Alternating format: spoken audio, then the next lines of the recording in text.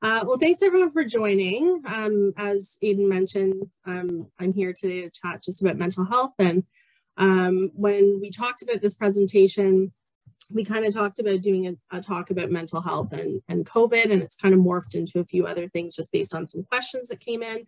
So at the very least, I hope um, you guys can get even just some validation as caregivers or parents or mental health clinicians um, about kind of what's going on uh, in the community and with, with our kids. And um, at the very best, hopefully you can get some takeaways about some strategies to help with, uh, with your kids and, and moving forward.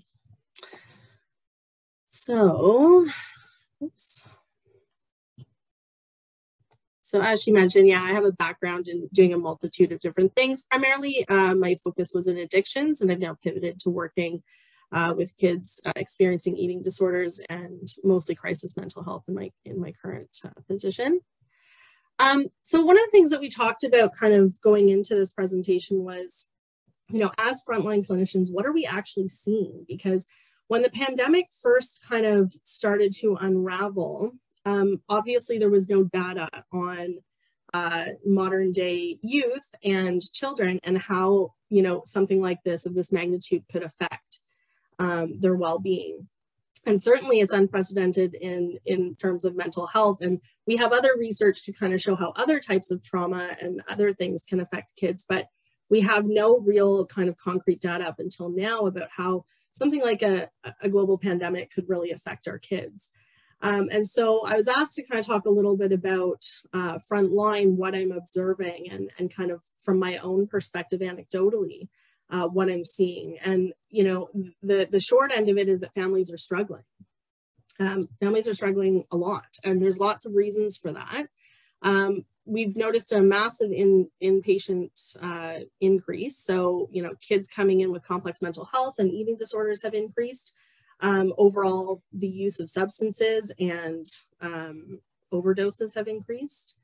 Uh, mainly, we started to notice a massive reduction in support. So as the pandemic, pandemic started to progress, community programs were forced to either reduce their numbers uh, substantially or they were forced to close altogether. And lots of communities rely on these community resources to uh, navigate not only mental health concerns, but you know, food and re other resources, academic resources, um, all of these things that communities kind of depend on um, were suddenly removed. And even from a healthcare perspective, we started to notice uh, a lot of shifts in the way that uh, mental health was being addressed.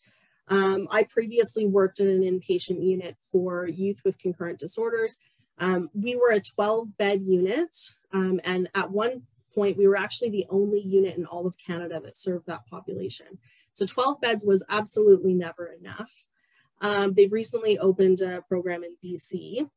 But as the as the pandemic started to progress, what they actually did was they shut that program down and they turned it into what they called a general PICU or a psychiatric intensive care unit, which no longer specifically served those youth.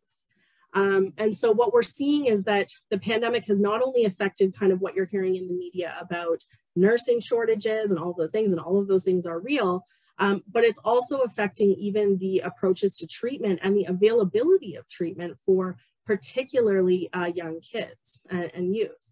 Uh, another thing that kind of comes up a lot in my work is, you know, we've all heard the, the phrase, it takes a village to raise a child. But what happens when that village is essentially gone? right? And so when you start to remove those community resources, and even on a smaller scale, you start to remove things like family support, babysitters, time away from your kids uh, to go and kind of fill your own cup again.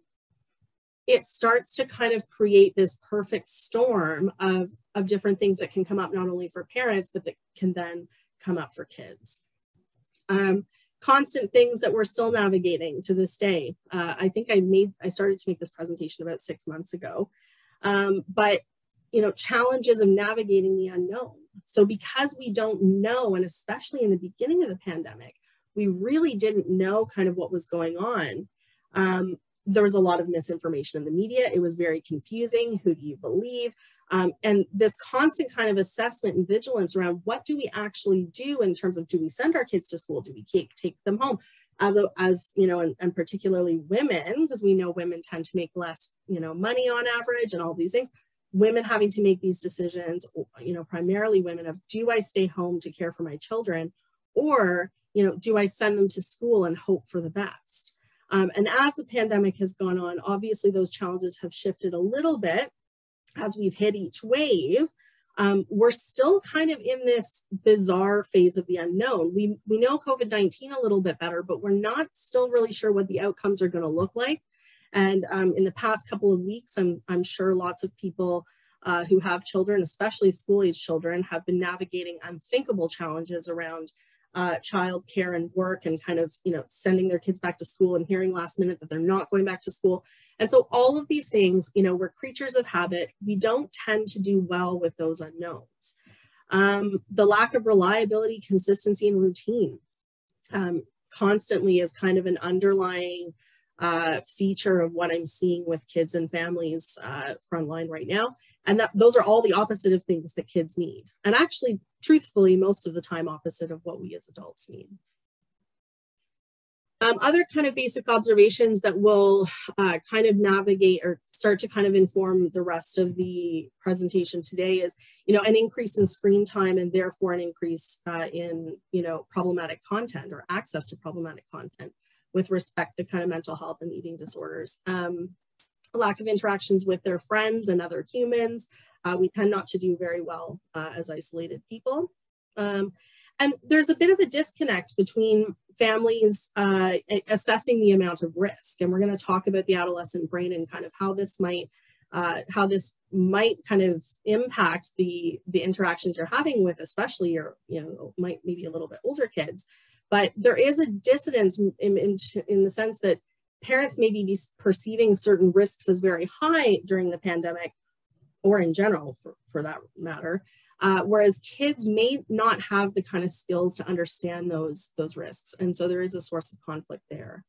Um, people spending lots of time together but not quality time. You know nobody wants to kind of be around any one person every single hour of the day. And unfortunately the pandemic has uh, forced that a little bit we're seeing lots of burnout both from you know on bigger scales, you know, healthcare and all of that, but we're also seeing it within, you know, the family units. Um, financial stressors within family and more research has actually indicated that that is trickling down to kids and that kids are actually starting to um, show concerns about their finances. And, you know, this is particularly relevant when we're talking about high risk populations where uh, they may not have the financial resources to supplement some of the programs um, and stuff that they were accessing before the pandemic. Um, kids looking for control where they can find it. And so we're going to talk, this is going to be an underlying theme throughout uh, today's presentation. Uh, the lack of schedule and routine, a little bit of that. And if your kids are already kind of prone to a bit of anxiety or depression, this is going to be kind of amplified uh, with, with some of the things that we're seeing with the pandemic. And this one is really, really important. So um, anyone who knows me and anyone who's worked with me knows that I can typically kind of uh, pin down um, a youth's concerns or struggles to one of kind of three major things. And uh, one of them is a lack of uh, an inability to tolerate distress very well.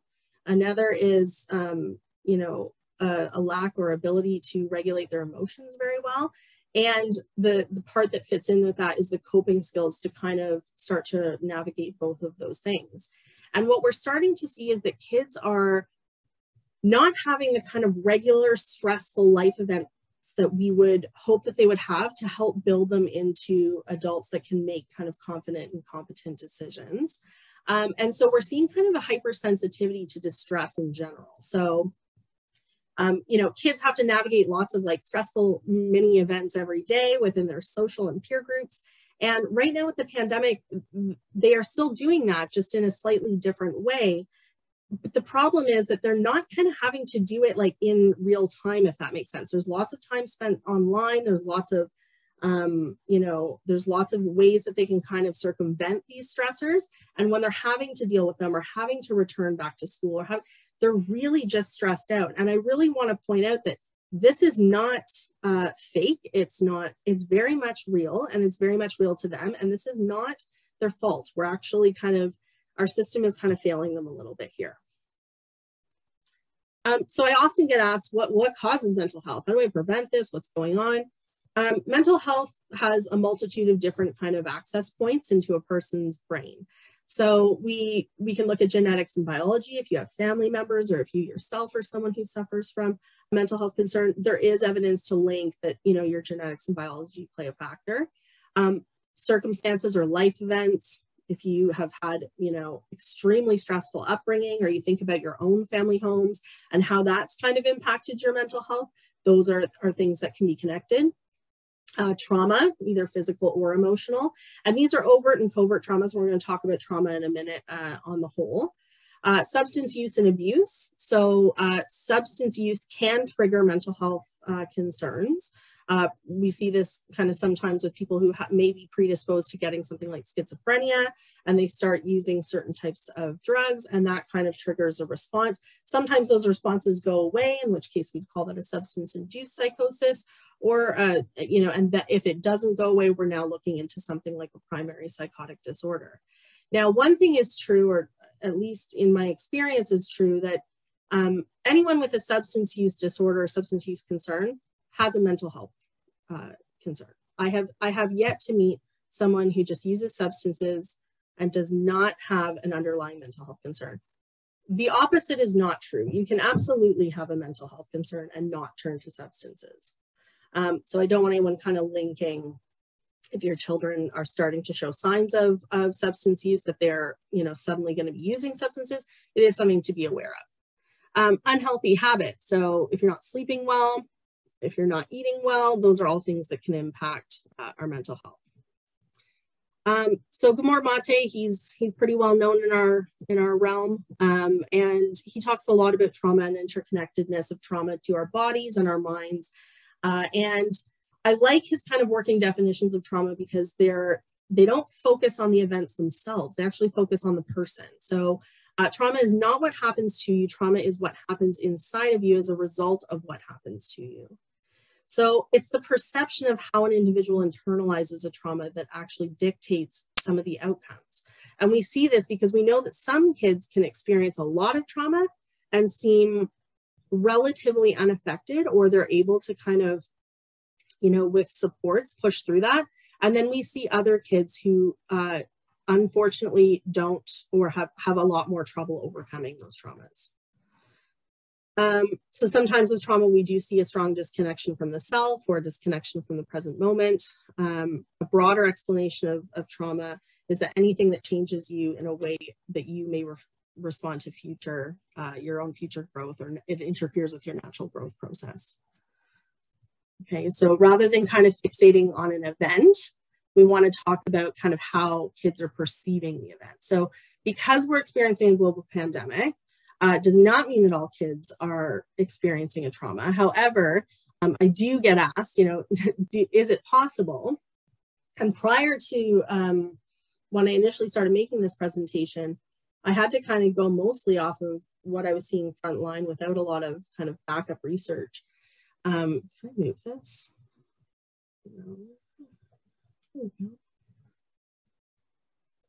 Um, and so, uh, you know, in a short answer, I yes, I, I, do believe that some kids are experiencing trauma or that it's possible that they could experience trauma.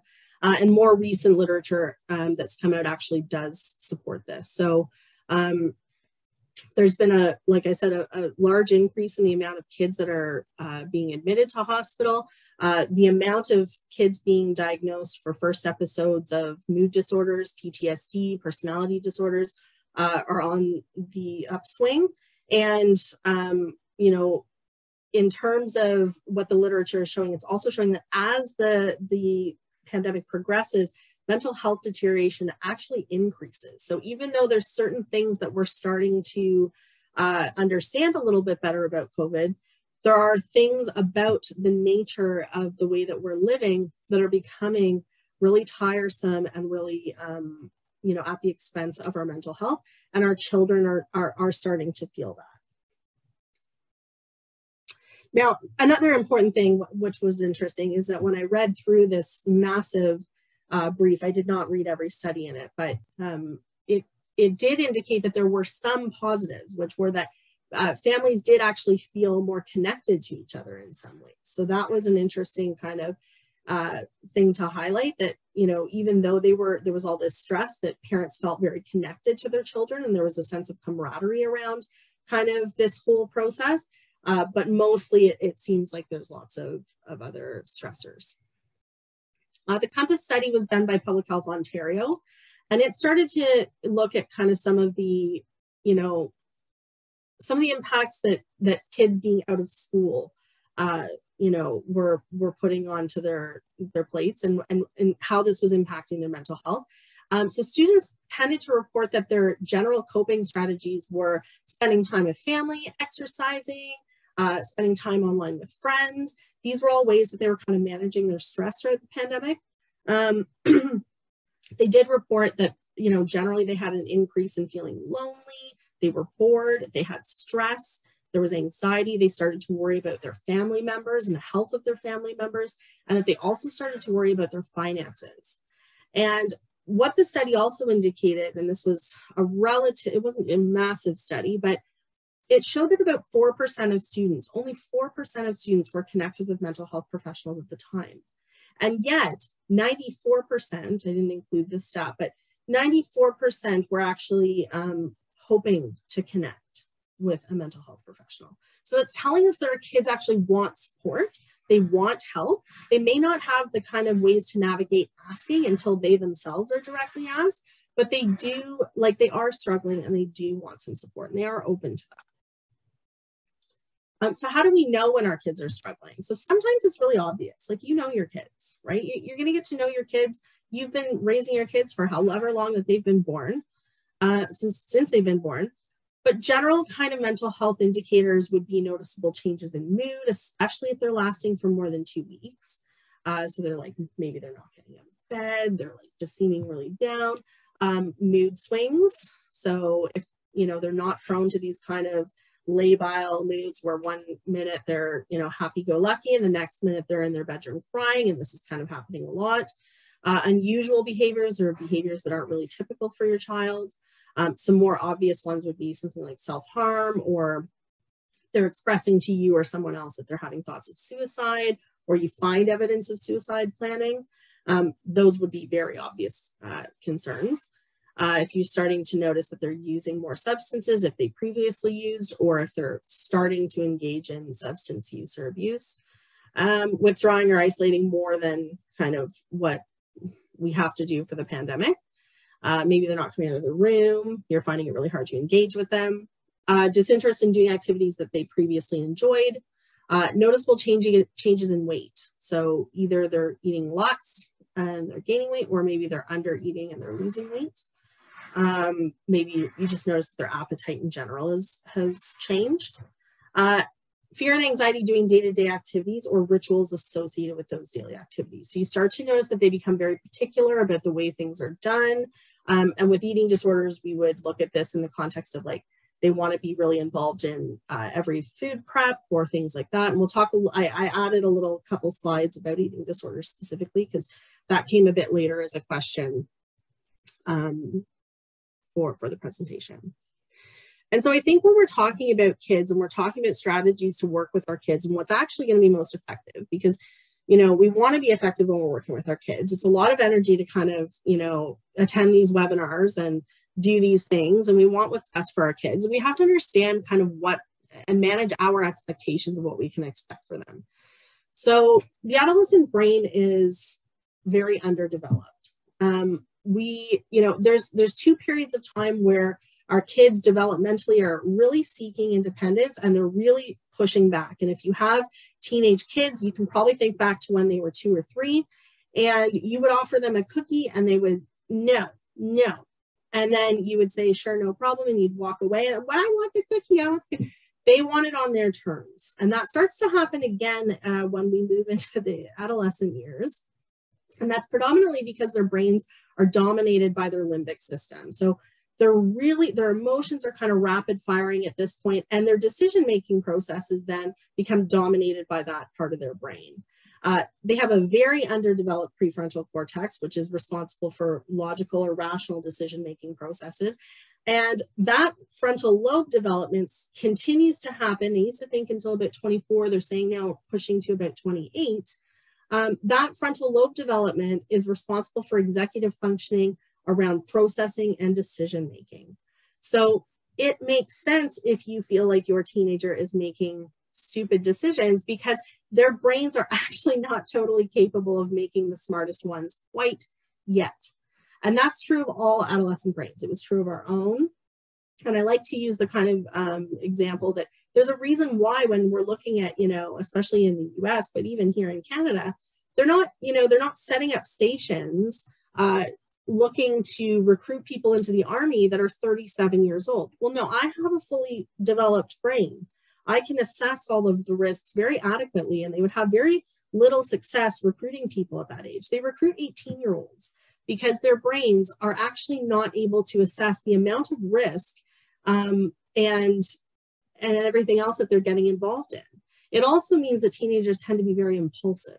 So they tend to make quick de decisions uh, based on their emotions and not based on long-term outcomes. They don't have a very good ability to delay gratification. Um, and I joke because this might be one of the reasons why I still don't have my license. Uh, I'm partially licensed, but part of my adult shame is that I don't have my license and I'm now terrified to get it because my brain can really process all the things that can happen. And that's why I would actually encourage you to really support your children to get their licenses when they're young and to start to engage in kind of healthy risk behaviors as they're young because we also don't want them to develop adverse reactions to doing certain things like me driving. So why is it super important that we understand this? So aside from some of the reasons that we talked about or that I've talked about already, they don't make good decisions. Teenagers tend not to always make good decisions and expecting them to is actually a bit unreasonable. Um, they may take riskier decisions than we would like. So um, as parents, we do have to kind of check ourselves a little bit in that area. Um, they may seem to ignore what seems like obvious solutions to problems. Uh, they have an inability to delay gratification. We talked a bit about that. And it's developmentally appropriate for them to start to prioritize their relationships with their friends over um, us. So what does that mean? Well, it means they need support from us. So it requires us as caregivers to think about what the requests that they're making and the things that they're asking for and this independence that they're seeking is what they're asking for, is what they're doing developmentally appropriate, even if we don't agree with it. Um, and what we want to do is we want to start to support their decision-making processes by letting them experience some natural consequences when it's safe to do so.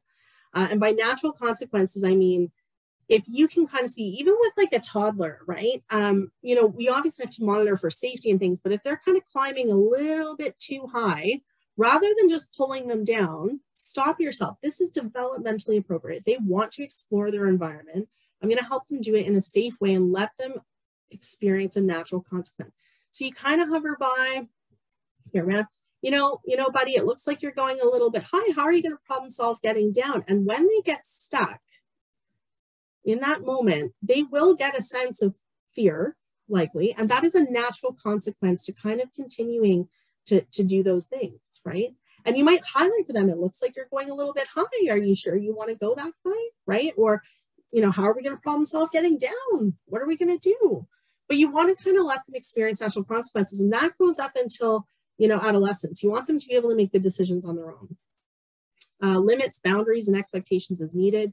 So kids, as much as they will tell you they don't want boundaries and limits, they absolutely do. Um, and as parents, we do not always need to be problem solvers. And I'm going to focus more on this for the presentation. Uh, it's best actually to just listen, validate, and we'll talk about validation and um, ask what they need from you. Uh, so we're talking about kind of mental health on the whole. Um, you know, I found this quote a while back when families don't get support and education, their emotional health and ability to cope with stress are at risk. Well, that's exactly why so many families are in the, the predicament that they're in with their own mental health. And even people who previously didn't consider themselves to have like kind of a mental health concern, their emotional health has still been put at risk with the nature of the pandemic and what we're doing. So I really want you to kind of just step back and recognize that parents are part of this 21% or one in five people who screen positive for uh, major depressive disorder, GAD or generalized anxiety disorder and PTSD throughout the uh, during the second wave of the pandemic. This was a, a study that came from that CMHO study. Um, so people often ask, well, what can I do when my kids are little? There's no obvious signs of mental health at this point. I'd say it's really critical to engage your kids in conversations about their feelings right from the get-go, right? Label emotions for them. They don't have the words to do that yet, but you can help them develop that.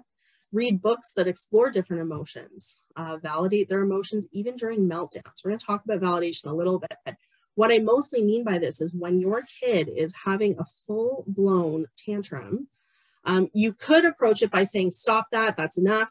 Um, you know, there's no reason for you to be having this meltdown. But in that moment, the reason is very real to them. Okay, so it might be better, it might be, and I can tell you it is a better approach and it will actually get you what you want much faster to just kind of crouch down. Wow, looks like you're really struggling. These are bigger emotions that you're having.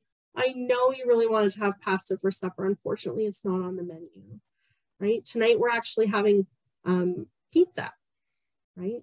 And pasta will happen another night, but it's okay to be sad about that, right? And you know, what do you need for money right now? Pat on the back? No? Okay. Well, when you're ready, you can come and sit at the table and have your, your, your pasta, right? And just kind of go from there. And validating that emotion, you're not validating the meltdown. You're validating the fact that they're feeling, they're having these big feelings. Um, you want to listen to the important things with your kids, right? So we sometimes kind of forget to really stop and pay attention to our kids when they're not struggling. And this is just by default of our, our busy lives. It's not, you know, it's not malicious in any way. Um, stop and listen to their explanation about their drawing or how cool their day was because they built. No matter how bored out of your mind you are in that moment, it's important to actually try and really tap into that because when we want our kids to to tell us you know we expect our children or you know we hope that our children will tell us when they're struggling and when things are not going well for them that comes you know that comes later. That comes once they know that you've listened to them throughout right? And so one thing i can really just suggest is start really listening to your kids and ask them what did you what did you like about your day today? Right? And just ask them questions and show genuine interest around kind of their day-to-day lives. Because if, if they start to it's almost like practice communication for when they are struggling and all kids struggle at some point. Um, let them experience failure and disappointment. Ah can't stress it enough. By default you're actually allowing them you're helping support their emotion regulation skills. Kids have to learn that it's okay to not be good at things. It's okay to not you know do well at things. It's okay to to be disappointed about things and that those feelings will pass. But if you kind of, you know, jump in every moment that you can, you're actually interrupting that process. I think Amanda, you mentioned that uh, Pine River uses a, a rescue is is robbery. I think it was. That's a perfect way to explain it. You are robbing them of an experience to try and kind of navigate these tough, you know, tough situations relatively independently, but with support right? And our ultimate goal as parents is to actually raise healthy, um, independent, you know, humans. So we have to we have to start practicing that even from a young age. Uh, let them experience those natural consequences and provide choices when you can. So when you're having a power struggle with your three-year-old or even your teenager, you know, would you like to put your shirt on before your pants or would you like to put your pants on? Getting dressed is not an option. We're getting dressed, but how you get dressed is an option, right? I can help you get dressed or you can get dressed on your own provide those choices and that that comes in handy again in, in adolescence so validation oh validation is definitely the most underrated communication tool. Um, it's something that i probably spend more time talking about validation with parents than anything else. So parents will say oh, you know oh like, i just need some tools to to communicate better. And i just i don't understand why they're you know so upset about these things. Well because their brains are not very well developed but also part of it is that you know think about when you're upset about something and and maybe someone says to you it's not that big of a deal oh my gosh that's such that's an awful feeling right so um when we're talking to our kids about mental health the problem with it is that a lot of the times when they have physical concerns we address those very openly and very readily but mental health concerns tend or can be more insidious they can be more hidden um, we also want to try and keep in mind that our, our that people in general experience feelings automatically. They don't choose them. So no matter how irrational the, the feeling or the emotion that you're seeing looks, no one's choosing that in the moment. And your kids aren't choosing to kind of be angry or sad about any given thing. One of the other things I like to highlight for parents is that when kids don't feel heard, they get louder. And by louder, I don't always mean louder with their voice. They sometimes get louder in other ways. You might start to see that when kids aren't feeling heard, that they do start to self harm. And it's very common with um, kids experiencing uh, personality disorders like borderline personality disorder, where because they feel so invalidated, it's almost like, you know, well, no one's really listening to me. Um, you know, and I'm in so much pain and suffering. And this is just really the only way that people are actually going to really listen. And it's not a malicious thing. It's not, it's, it's a maladaptive behavior that's serving a purpose for them. There are other reasons for self-harm. That's not the only one. But I really want to make it clear that kids want to be heard. And so if they're not being heard, if you start to see that kids are acting out and doing these things, they really are probably trying to send a message to someone. And one of the other kind of statistics or, you know, some of the information that came out of that CMHO study was that, uh, or the brief was that parents are reporting more behavioral concerns with their kids, that kids are kind of like pushing back and there's more power struggles. And those are all things because one, their lives are pretty chaotic, but two, there's certain there's certain needs that aren't being met. So validation is a good tool to start with as a communication tool as a parent, or, well, and really just as a person dealing with you know individuals at work or whatever. Um, validation is not problem solving. Okay, so we're not we're not jumping into problem solving mode, and actually by doing that, we could be accidentally invalidating someone. So we want to always validate the emotion, not the behavior. So when little tommy's having uh, a full blown tantrum or, you know, older Tommy, 16, 17 year old Tommy is having his version of a tantrum, we're not validating the the behavior. Like it's okay that you're throwing, you know, a dish right now. No, no, no. It's wow, it seems like your emotions are really big right now. Like what's going on for you? Right? Or wow, it looks like you're you're really struggling with this. You know, makes sense that you're struggling. Um, just sometimes that's actually enough when kids are kind of elevated to bring them down a little bit. You want to try and listen without judgment. So this is where, again, that jumping in piece as a parent, part of it is that we want our kids to be well. And so we jump into problem solving mode. And instead of kind of listening without judgment, we start to offer our opinions.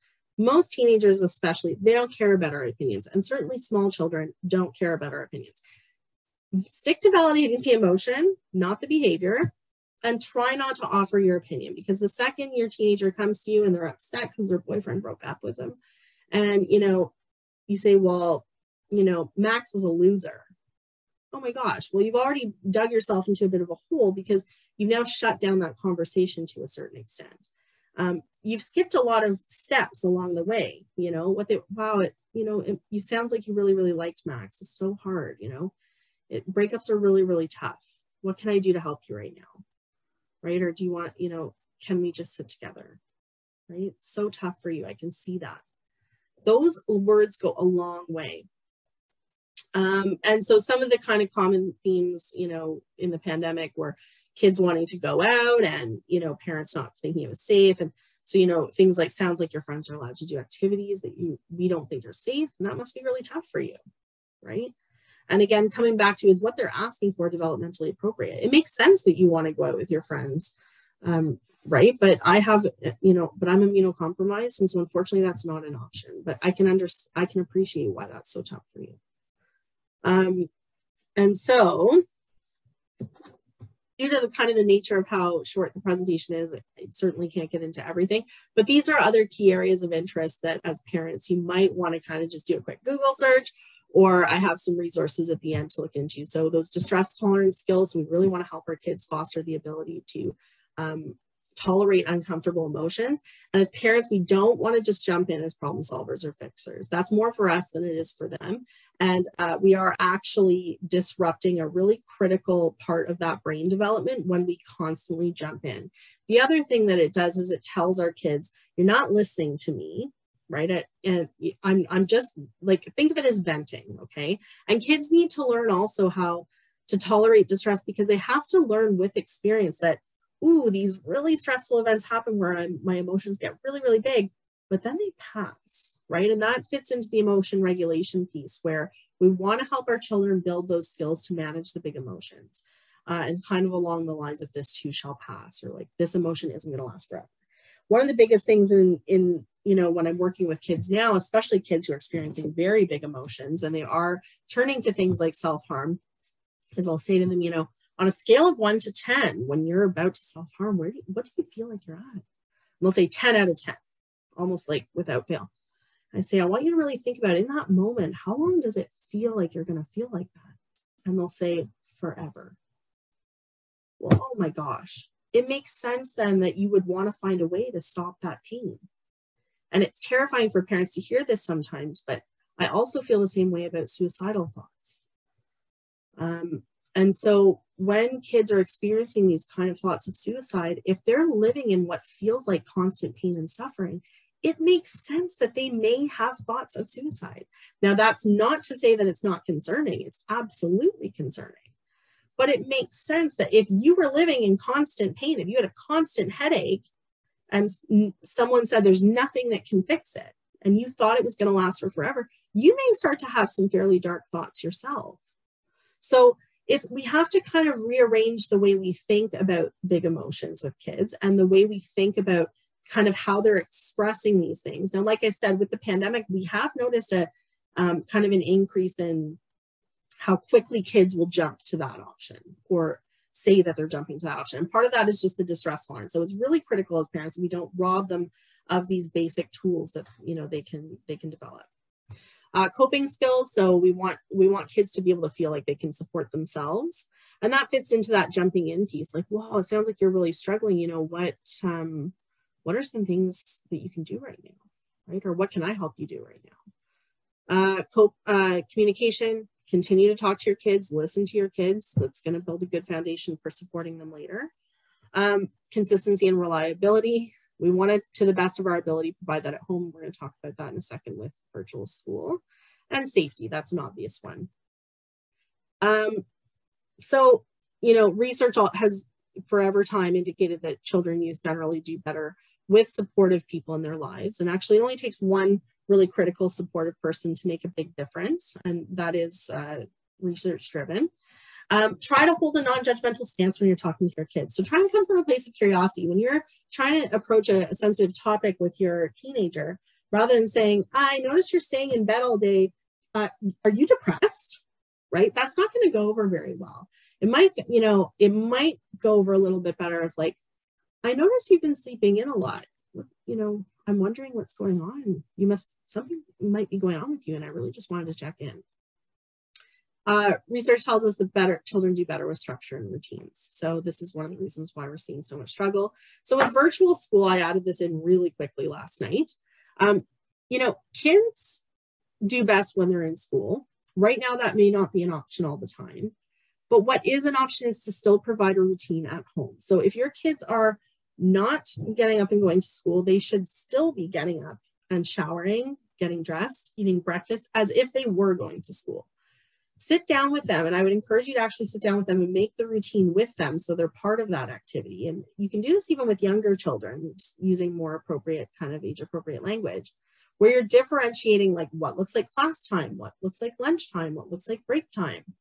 Um, and with really young kids, it's a little bit different, but once they get older, um, and you're not kind of there entertaining them, it's really, really critical that they have that structure.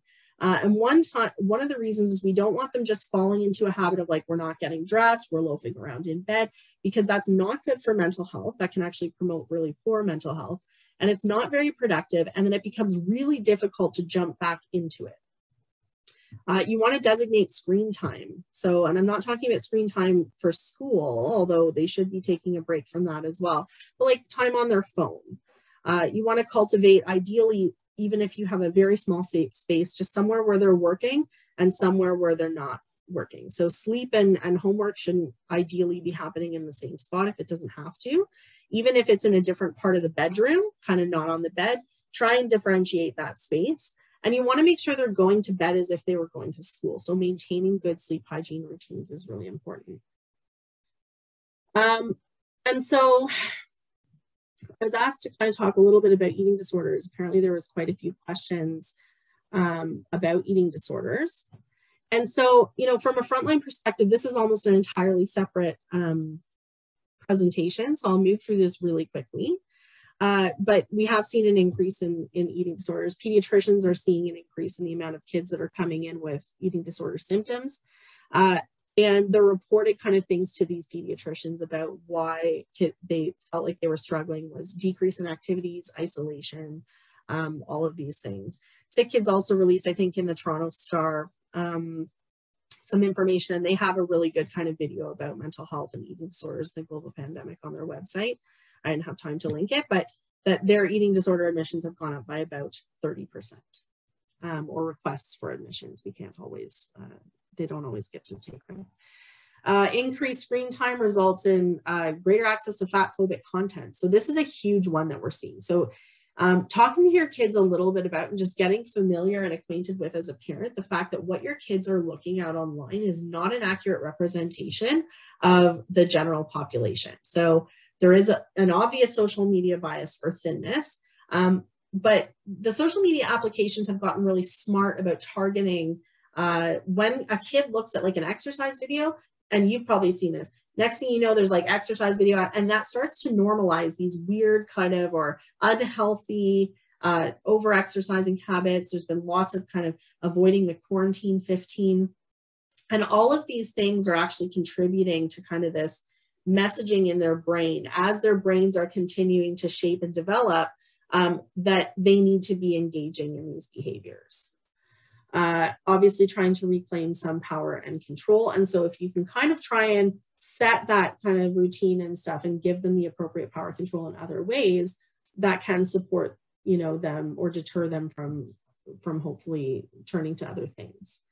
Uh, so general tips and trips we always give uh, for anyone coming in is, you know, we want to always assign, and this and this starts from a very young age, assigning you want you don't want to assign any moralistic value to food so we're not talking about good foods, bad foods. Candy is good, vegetables are bad.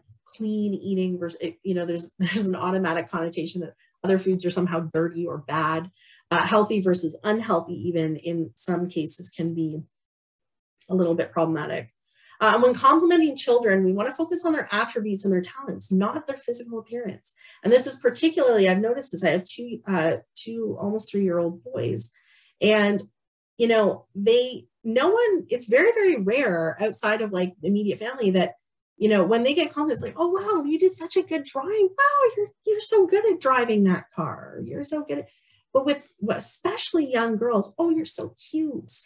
And of course, kids are cute. You know, they are cute. But try and find something. Oh my gosh, I can see how hard you're you work to put your outfit together, right? Or wow, that drawing that you're doing, I can see how hard you're working on it try and focus more on this, especially as they go into teenage years. Start focusing on them. You're a really good friend. I've noticed you're such a good friend to your friends. They're so lucky to have you, right? That becomes kind of an important and critical part of how they start to see themselves because, you know, they're seeing that other people see them this way. Uh, you want to challenge diet culture, you know, through a, a different, a number of different things. You want to model appropriate relationships with food. So if you yourself are struggling, I would recommend getting some help uh, or trying to get some. I know that's so challenging right now, but we want to try and model appropriate interactions with food. Um, you know, we're not going to the freezer and talking about, oh, I've earned this ice cream today. Well, that that kind of sends a message that your kid has to earn it, right? Um, you want to you want to talk to your kids regularly about the nature of social media content and how it's not very accurate and when kids are really, really little, and this is, it's funny talking to my own parents and thinking about my own upbringing in this respect.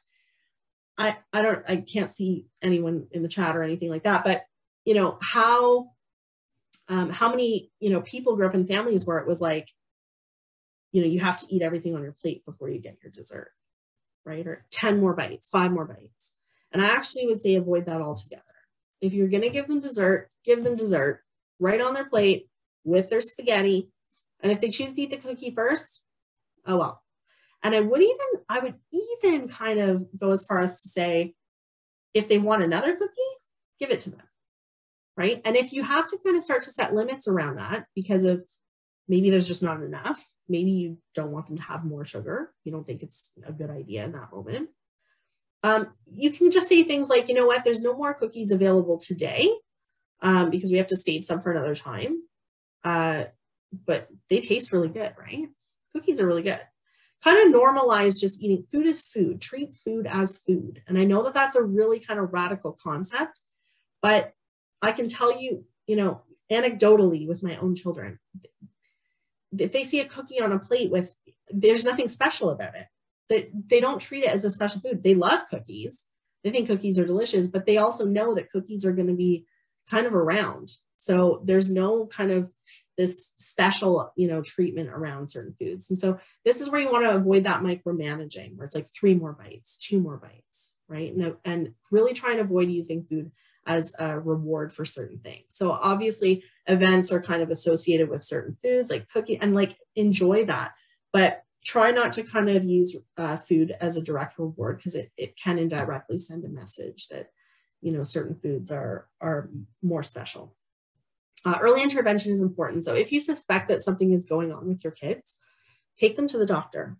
Um, advocate strongly. Do their, you know, can you take their vitals? You know, can you check their blood pressure? Um, and really just advocate in that respect. And while eating disorders are more prevalent in female identifying populations, please remember that if you have male children, pay attention because they are still very much present in male presenting populations. A uh, couple other things to remember, uh, you know, they're not, eating disorders are not a choice. They're actually a very serious psychiatric illness.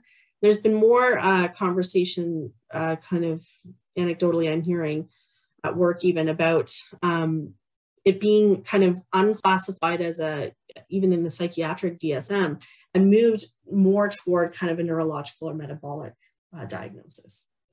Um, you want to create a family mealtime if you can. You know, this is just in terms of that healthy modeling piece. And this is also kind of critical for that mental health piece, um, where everyone's putting down their phones, no screens, and you're just kind of eating together. And not only does that give you like eyes on your kids to kind of get an idea of like if there is any kind of bizarre behaviors around food, but it also gives you that time to connect. Um, if your kid is suffering from an eating disorder, or if you suspect that they could be, uh, you want to externalize that from them. Their eating disorder is not them. It's it's part of them and it's part of something that they're struggling with, but it's not who they are. So when your kid who has an eating disorder is coming to the table, and they're kind of staring at the meal and you can see that something's going on, it's more appropriate to say something like, you know, it, it looks, I, I can see that you're trying so hard right now. And I suspect that your eating disorder is making this really difficult for you. It's not them making it difficult, it's their eating disorder that's making it difficult, right? Or sometimes we even say things at work like, it sounds like your eating disorder is really loud right now, screaming at you that eating is not the right choice. And this is where you can set limits still, right? So your eating disorder is telling you it's not the right choice to eat with us. At the same time, you know, we expect that you sit down and eat with us because that's what we do as a family. So how can we support you to do that? Right. So um, I hope that this wasn't too too. Uh, there's a dumpster fire there, but I, I don't think it's all you know doom and gloom. I do think that there are lots of you know positive things that parents are doing. Um, you know, we can do hard things as parents and we will, and caregivers in general. Um, it's not your fault if your kids are struggling. It's not their fault if they're struggling. Uh, really try and be kind to yourself. I know this is like, you hear it all over the place and it actually drives me a bit crazy because I feel like sometimes, you know, it's like, well, how am I supposed to take time for myself when my kids are, you know, my kids are at home all the time and I have no time. And, you know, just try and do something small for yourself. Um, uh, talk to your kids all the time. Keep the lines of communication open. Tell your kids you love them, and more importantly, show them that you love them by listening and showing that you're genuinely interested in them as people. Um, celebrate the small successes. And I always tell people to, you know, it's progress, not perfection. I communicate for a living and I still scream at my kids. It's just a reality of being a human, particularly with all of the stuff that's going on. Be gracious with yourself. Um, you just try to make some small changes and when you when you do lose it on your kids because you will um, you just model the appropriate response. Oh, you know, I was so frustrated. I'm so sorry that I yelled at you like that. That wasn't okay. I'm working on, you know, managing my emotions a little bit better. Uh, at the same time, I did find it frustrating that you were, you know, throwing a ball at the window because I'm, I'm worried about your safety and I don't want it to break. Um, set limits and boundaries, maintain them. Kids want them and show up. Put your phones down and be present. I know it's so hard. Uh, we all just need a break sometimes, but try and put your phones down. Um, you're not doomed. Everyone's doing the best they can, and we can all do better. It's a DBT fundamental that I truly do believe in. Um, and you really are absolutely the best parents and caregivers for your for your kids. Uh, I want to kind of preface everything, you know, or finish everything by saying that if you do suspect that your kids are in danger, take them to the emergency room.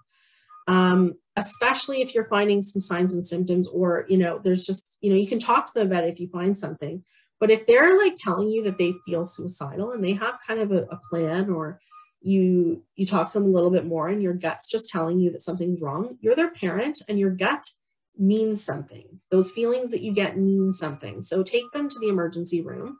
Uh, book an appointment with your family doctor if it's not urgent.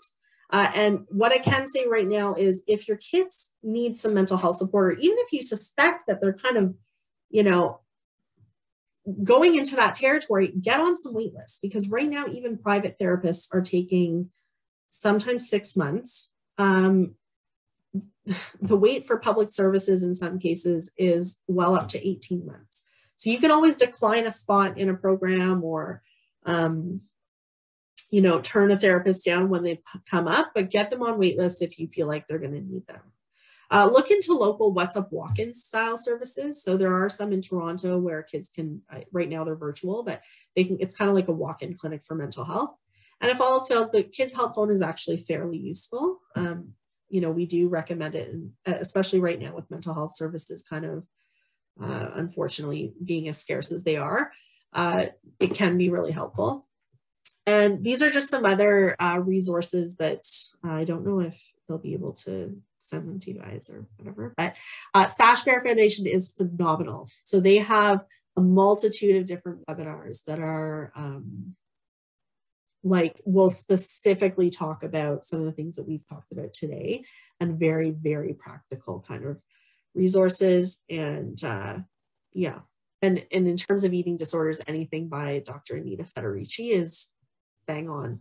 And she has a really great YouTube uh, information session about, about eating disorders.